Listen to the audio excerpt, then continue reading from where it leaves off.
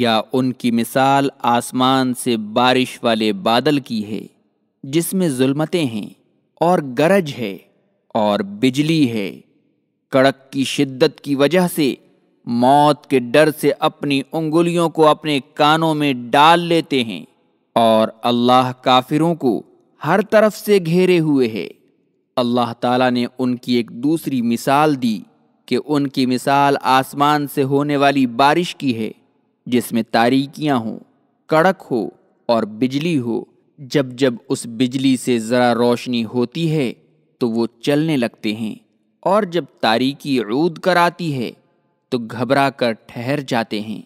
یہی حال منافقین کا تھا کہ جب قرآن کریم میں مذکور عوامر و نواحی اور وعد و وعید سنتے تو مارے ڈر کے اور روب و خوف کی وجہ سے اپنی انگلیوں کو کانوں میں ڈال لیتے۔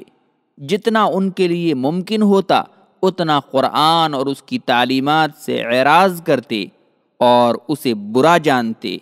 بالکل اس آدمی کی طرح جو بارش میں کڑک کی وجہ سے، موت کے ڈر سے اپنی انگلیوں کو اپنے کانوں میں ٹھونس لیتا ہے۔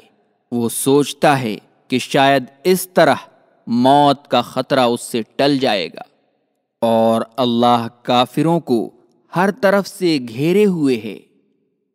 لیکن منافقین کو کہاں سے نجات مل سکتی ہے؟ اللہ تعالیٰ انہیں ہر طرف سے اپنے گھیرے میں لیے ہوئے ہے۔ کون اسے آجز بنا سکتا ہے؟ کون اس کی قبض قدرت سے نکل سکتا ہے؟ اللہ تعالیٰ انہیں ان کے کرتوتوں کا پورا پورا بدلہ دے کر رہے گا۔